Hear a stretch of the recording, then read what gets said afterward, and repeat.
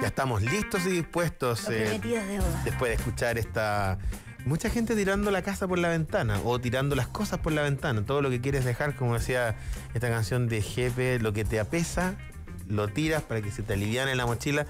Pero estamos en semana decisiva ¿eh? contra el tiempo. Llegó una encuesta CEP, conocimos más sobre lo que la ciudadanía más o menos entiende de la constitución, pero si no lo entiendes tanto, Más tenemos nosotros aquí eh, a Danilo Herrera, cientista, político del Centro de Políticas Públicas de la Universidad Católica y por supuesto lo pueden seguir ahí en todas sus redes sociales. En todo el lado está como Danilo Herrera D. Bienvenido, ¿cómo estás? Muchas gracias por la... eh, bueno, esta ya es mi casa. Es tu, Es tu casa. sí. Muchas gracias por estar acá. en tu casa. Sí.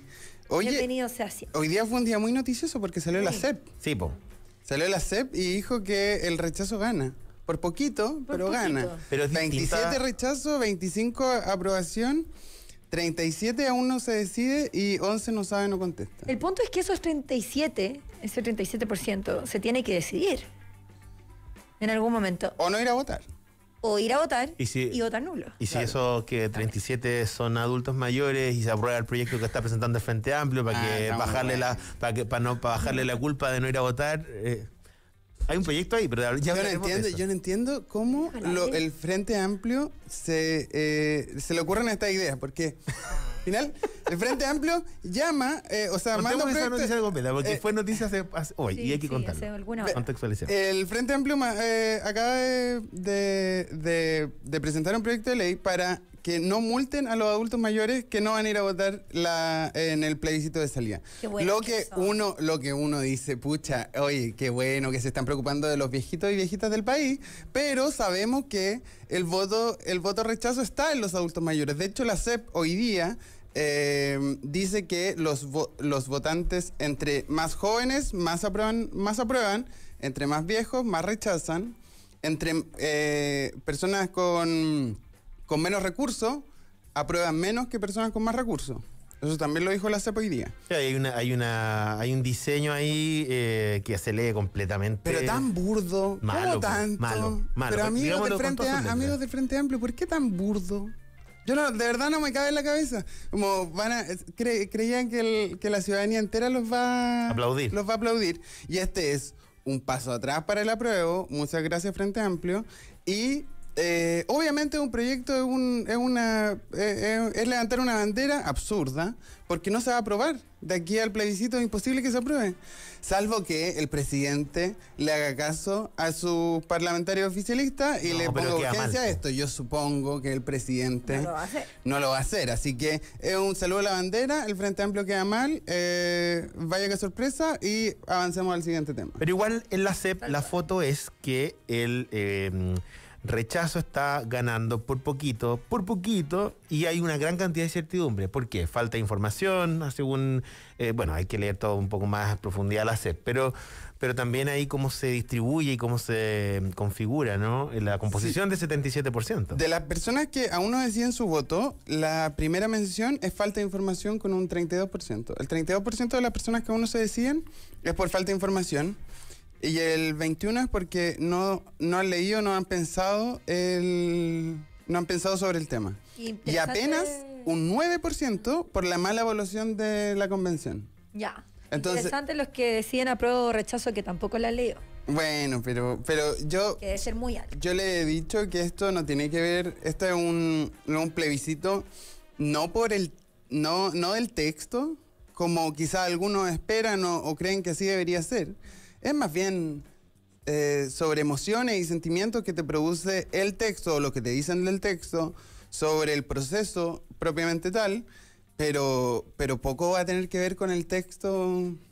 No sé, no, no, no veo a mis vecinos, eh, no veo a mis vecinos discutiendo cuál es la mejor forma de tener una Contraloría General de la República. No, No, me po. interesa. que- Entonces No son esto, esta, esta, este plebiscito, a pesar de, de- lo que nos gustaría a cada uno, va a ser eh, emotiva eh, sobre lo que, te produce el texto, o sea, la, la idea que tienes de texto. Eh, supongo que las personas que están en contra del aborto y es su primera, es su, es su bandera de lucha número uno, van a rechazar. Y las personas que están a favor de elección van a aprobar. Y así van a estar con sus temas, van a levantar un par de banderas y van a decir, ok, voy a aprobar, pero leerse el texto completo imposible. No, pues Pero eso va a hay- ser parte de las campañas. Habemos tú resumen también. Claro, la convención acaba de sacar un resumen eh, de poquito más de 30 páginas que va a... mm, que intenta hacerse cargo un poco del texto para, claro, no leerte lo- todos los artículos que van a quedar, 372, de eso vamos a hablar después.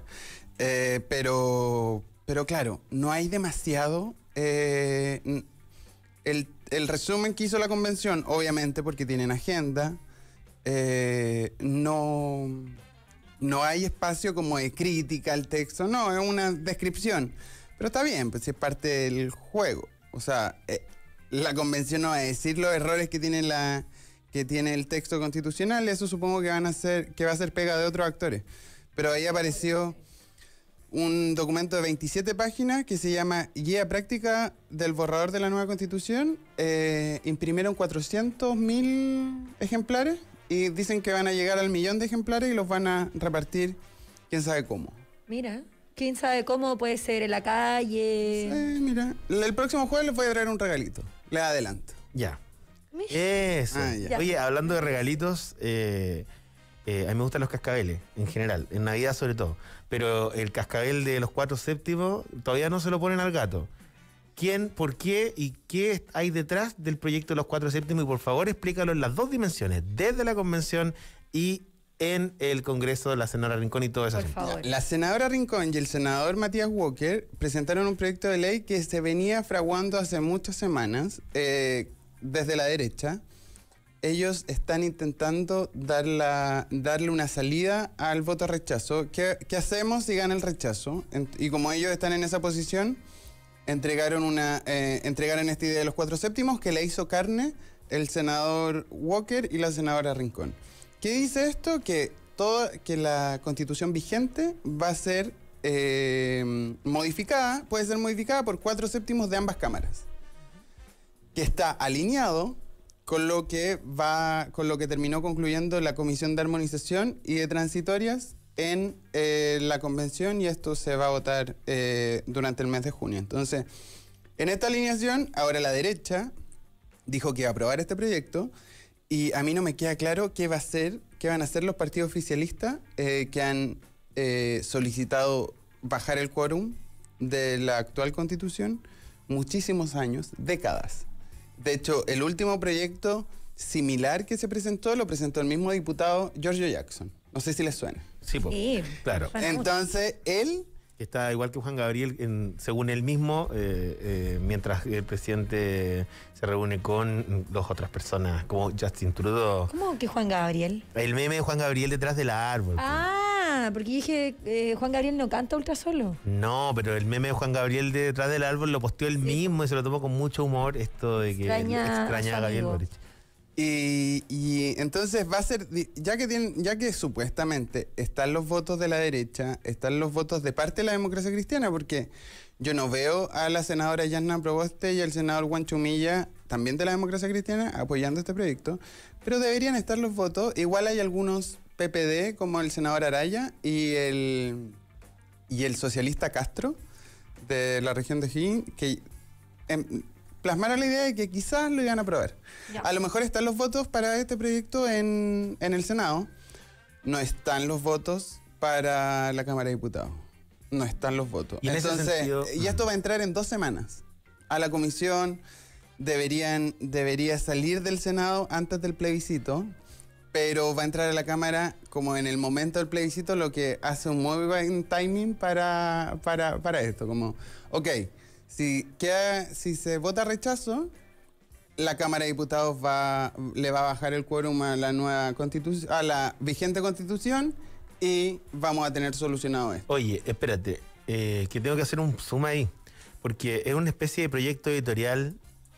El presidente Gabriel Boric ha dicho claramente que, eh, de hecho, le preguntaron en medio de su gira a Estados Unidos si había tercera vía. Él dijo claramente no, hay dos opciones, pero hay quienes sostienen que este proyecto viene a ser una especie de materialización de posibles terceras vías. Eh, sabemos que no existe una tercera vía, pero ¿qué, te quiero decir? Así como nace esta idea de em, aprobar para reformar, en la Constitución, pareciera ser que existe o podría existir eh, rechazar sin culpa para los que están más en el centro, ¿no? Sí, lo que yo diría es que no existe una tercera vía, estoy de acuerdo con el presidente ahí, pero este proyecto, si se llega a aprobar, lo que veo muy, muy difícil, al menos en la Cámara de Diputados y Diputadas, eh, viabiliza una tercera vía.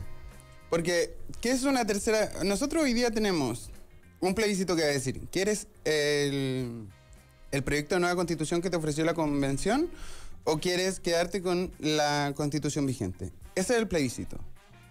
Pero si llega a ganar el rechazo, se viabiliza la posibilidad de modificar la constitución vigente. Esto no quiere decir que a, dos semanas del plebiscito vamos a tener un nuevo sistema de pensiones si el Congreso y los respectivos gobiernos no se han podido poner de acuerdo en un, en un nuevo sistema de pensiones hace más de una década. Entonces, ¿cuál es el, el sentido ahí? Yo diría, viabiliza la tercera vía, pero no existe tercera vía.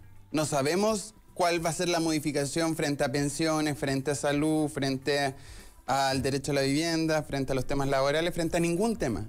Solo viabiliza y podemos decir que es más fácil eh, hacer estos cambios, pero no sabemos en qué dirección van estos cambios. Bueno, dijo también eso el presidente Gabriel Boric. Eh, se llevan años peleando para flexibilizar la reforma y ahora a, poco andar, ¿no? a pocas semanas de que comience todo un proceso muy relevante, entonces este proyecto se instala. Sin duda tiene cara eh, de león, cuerpo león, es un titular para generar eh, ideas, ¿no? En cierta población que está dudosa. Pero no, le po- no podemos culpar a los senadores de, de derecha o los senadores que van por el rechazo. La, la senadora Jimena Rincón o el senador Matías Walker no han dicho si votan a prueba o rechazo. Eh, pero es una... No, le podemos, no podemos culpar a las personas que votan por el rechazo que están buscando eh, estrategias para que su, eh, su opción gane el 4 de septiembre. Obvio, es válido. Por Tal cual supuesto. como claro, es el proyecto de... Esto es lo más parecido a la política. Uy, sí, se sí, parece harto. totalmente.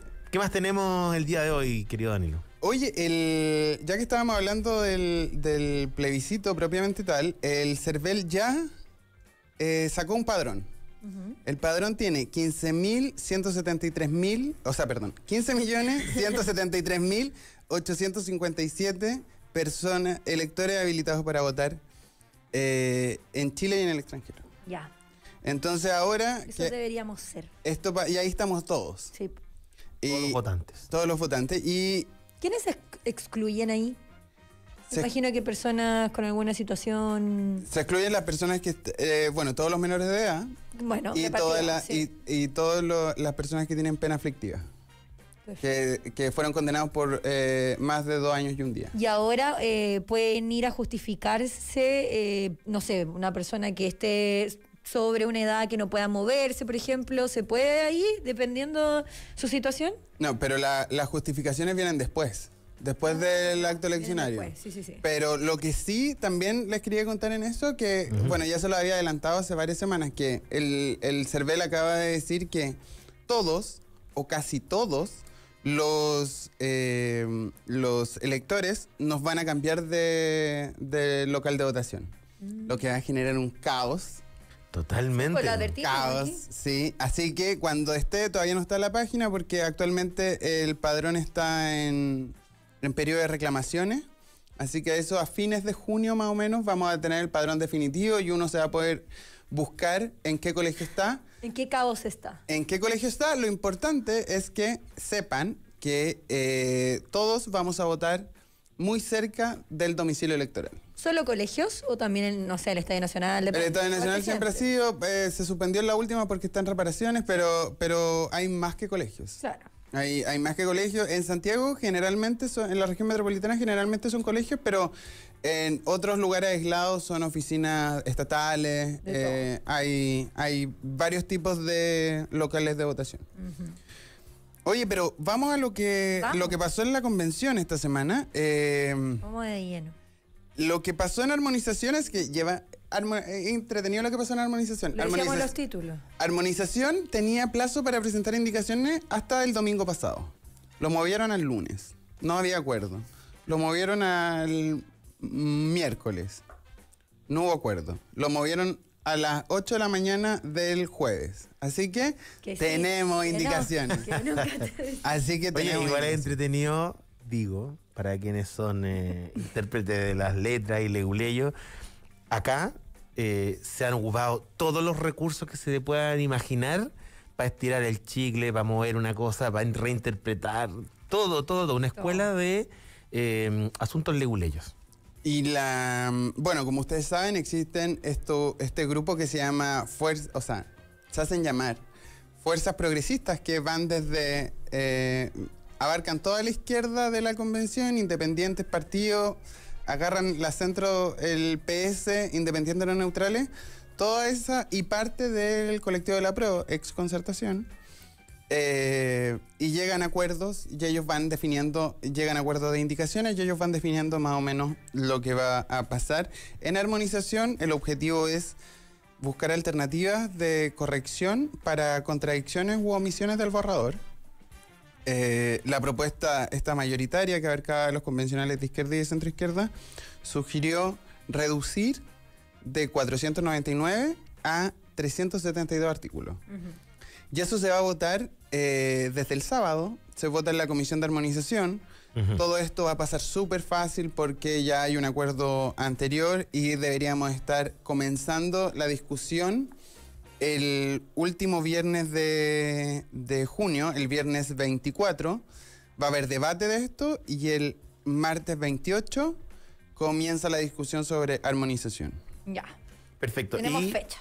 eh, tenemos fechas y bueno, también hay otra comisión que está trabajando, eh, Normas que es normas transitorias, Sí. donde se están definiendo fechas del fin del Senado. Sabemos que hay toda una agenda también política en la que los poderes constituidos de alguna manera se resisten a los poderes constituyentes, pero es natural, en toda democracia esto tiene que ocurrir, ¿no? no, no para que nos asustemos eh, como que fuera tan inusual. Sí, en normas transitorias hay dos momentos y quiero ser súper claro en esto. Hay cosas que se aprobaron mientras nosotros estábamos al aire el jueves pasado. ¿Verdad? Pues sí. Eh, y esto ya está aprobado. Entonces, que Boric no vaya, no vaya a optar por la reelección está aprobado. Que la constitución entrará en vigencia 10 días después de la publicación en el diario oficial. Aquí quiero corregirme algo que dije la semana favor, pasada. Me lo hicieron ver. Que, eh, claro, no va a ser en el mismo septiembre porque el Tribunal Calificador de Elecciones tiene que calificar la elección. Ah, Claro. correcto. Y para eso vamos a tener más o menos 20, 30 días y después 10, 10 días más. Así que dicen que por octubre va a estar la constitución aprobada, pero, pero eso también tiene que ver con tiempos administrativos que se pueden ir moviendo. Pero lo que sí es que la constitución entra en vigencia 10 días después de la publicación en el diario oficial. Eh, también se aprobaron cosas de los cambios del Estado regional, como que todo lo relacionado a Estado regional se tiene que legislar seis meses antes de las elecciones de alcaldes, concejales, eh, consejeros regionales, que ahora van a ser eh, asambleístas regionales, y los gobernadores regionales. Entonces ahí hay un, ahí hay plazos. Ojo que yo ahora le estoy mencionando plazos, y en ninguno de estos casos hay multa o qué pasa si no lo cumple el Congreso y el Ejecutivo. Ya. Entonces ahí también vamos a entrar en un debate durante varios años de, oye, la constitución te obliga a, a legislar en tantos meses esto. Ya, pero ¿y si no, qué pasa? Nada. Nada. Y eso no está, eso, ¿quién debería ponerse? Nada, pues ¿por qué vaya a hacer? ¿Vaya a disolver el Congreso? Como, ya, y si no lo haces, disuelve el Congreso. No, pues no se puede. Ya, pues. Pero Estaba un no- poco no- atrapado, un no poco hay atrapado. ninguna otra salida. No. Solo. Solo, solo pensar, solo, solo pensar bien, solo pensar bien en los, en los legítimos representantes del pueblo que están Claro, sentados en el estar sentados en el Congreso. Congreso. Eh, y, y al presidente Boric le puso muchos plazos. Desde la entrada en vigencia eh, de la Constitución, todas las reformas electorales tienen que ser presentadas en 12 meses. El sistema de seguridad social nuevo, pensiones, un año también. Sistema de salud, 18 meses. Eh, sistema de educación, dos años. Está interesante eso. Sistema, entonces vamos a estar dos años discutiendo sobre eh, cómo va a ser el proyecto de eh, Sistema Nacional de Educación, por Pero ejemplo. que para ese tipo de temas se pasan volando, yo creo, porque las promesas que eh, vimos de, y que vemos siempre, la verdad, de cada gobierno, no tienen plazo, son solo promesas. En cambio que aquí sí tienen plazo. Pero plazo, pero de nuevo, plazo, y si no se cumple, bueno, No pasa nos vemos. El, sistema de educación pública, eh, eh, sí, eh, 24 meses. De suelos públicos, 24 meses. Una reforma importante a la ley de garantía y protección integral de los derechos de la niñez, 18 meses. Y para temas laborales hay algunos temas que son para 18 meses y, y- y otros 24 meses. Esto dice entonces que vamos a estar al menos tres años discutiendo estas cosas. Va a ser mucho más. Pero este es el espíritu que, presentan las normas transitorias aprobadas por el Pleno el jueves pasado. Pero la comisión, que, eh, que mañana termina su trabajo, la comisión de normas transitorias, eh, ya despachó todos los artículos. Mañana van a sesionar solo para armonizar, hacer cambio de coma, darle las mismas reglas que le dieron a los textos de mayúscula en la comisión de armonización, pero son detalles. Pero de las cosas que se aprobaron en comisión es el quórum de cuatro séptimos que ya hablamos, que es quórum de cuatro séptimos para eh, como regla general para que este para que el Congreso vigente modifique la, la Constitución y para algunos eh, aspectos sustantivos que ya están descritos en el texto del borrador, de borrador constitucional, como los poderes del Estado, los derechos fundamentales, la reforma constitucional, los órganos autónomos, eh, requieran cuatro séptimos y referéndum eh, ratificatorio o eh, dos tercios de ambas cámaras. Ya. Y a esto se le suman los capítulos de naturaleza y de normas transitorias. Perfecto. ¿Estamos muy temprano para tirar apuestas todavía o la próxima semana? ¿Te quieres aventurar? No, dejémoslo para la próxima No, semana. no, no. ¿Eh? ¿Por No, dónde? esto se vota el martes. Es martes. Ah, ok. Entonces Esto no se vota el pasar. Ah, ya, ya, ya. ¿Y cómo Ya, viene? Esto se vota el nomás, martes. Va todo esto de acuerdo, Danilo, todo esto de acuerdo, Danilo. todo esto de acuerdo, o sea, todas estas normas transitorias, todas, estoy hablando del 85-90%, se van a aprobar súper fácil en, el Pleno. Ya hay acuerdo suficiente para que todo lo que aprobó normas transitorias sea aprobado en el Pleno. La derecha no va a votar. La UDI, Republicanos e Independientes, avisaron que ya no van a votar. De hecho, no entregaron indicaciones en esta, en esta comisión porque creen que han ocurrido cuestiones antirreglamentarias. Porque claro, por ejemplo, los cuatro séptimos fue rechazado tres veces en el Pleno y lo vuelven como norma transitoria. Claro. Y eso es discutible reglamentariamente, pero también se están haciendo cargo de un vacío que tenía la- la- el borrador de la nueva constitución, entonces también es discutible. Eh, y lo otro que volvió, que yo les dije que iba a volver exactamente igual, el término del Senado al año 2026. Eh, ese año se va a sustituir por la Cámara de las Regiones y los senadores que fueron electos a fines del año pasado, eh, que van a llevar cuatro años en su cargo de ocho. Eh, muchas gracias por su servicio. Nos vemos. Sería todo. Hasta luego. Sería todo. Ya. Igual ellos se van a, se van a poder postular a la Cámara de las Regiones. Ah, ya. Tienen Sí, pues, ¿verdad? segunda vida. Tiene ahí una... Claro, pero el gasto, pero el gasto en campaña, ¿quién te lo paga? Uy, uy, uy, uy. Eso Sí, le Que. Dios te lo pague. Ya. Bueno, quedamos al día entonces, pues, Dani. Estamos al día. Me Eh, vamos, entonces, la próxima semana, transitorios, el martes, y durante, y desde el sábado en adelante, la Comisión de Armonización comienza a votar, a votar el nuevo texto que va a terminar con 372 artículos. Y de ahí, eh, y de ahí pleno a fines de mes para ver el tema de, del preámbulo que todavía no se vota, que está en ascuas ahí. Acuérdense que quizás tenemos preámbulo en una de esas. Tenemos preámbulo, se viene el pleno de armonización, se viene el pleno de transitorio el próximo martes y ya estamos a, a poco terminar de este largo proceso. El 4, de, el 4 de julio se entrega el texto constitucional al presidente en una ceremonia, en una ceremonia republicana, Solemne. solemne, y el 5 de julio la convención se disuelve. Cha, cha, cha, Muchas cha. gracias convencionales, muchas gracias por su servicio público. No se les Nos paga vemos. más. A los No matinales. se les vuelve a pagar. El último A día que les van a pagar es el Es el 5 de julio. día. Ya, perfecto. Y ¿Y, ahí- Todos los asesores y todo. ¿y ahí Y ahí qué a los pueden hacer? ¿Ir a los matinales? Van a ir a los matinales, se van a hacer, van a ser famosos, supongo que van a ir. Yo con todos los que he hablado van a eh, salir a hacer campaña para ir a ir a defender su opción en sus respectivos distritos. Obvio, es la labor que, que tienen. Así que ya, pues Danilo, te pasaste. Quedamos muy, pero muy actualizados y vamos a esperar ahí tus apuestas. Muchas gracias, chiquillos. Nos ¿Qué vemos. pasaste? Danilo Herrera, cientista político del Centro de Políticas Públicas UC. Lo pueden seguir, por supuesto, ahí en todas sus redes sociales. Si es que se perdieron algo, si es que llegaron tarde, Danilo Herrera de en todas las redes sociales. Nosotros seguimos aquí a la 92.9. Quédate con nosotros que todavía queda tarde en la 92.9. Al regreso leemos tus comentarios.